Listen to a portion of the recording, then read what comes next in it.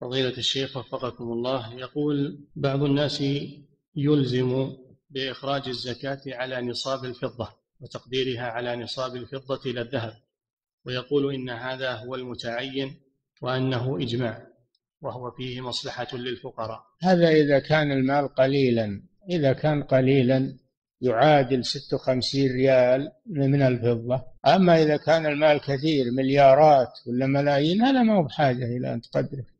أطلع الزكاة ربع العشر وخلاص. هذا زائدا عن عن النصاب. نعم.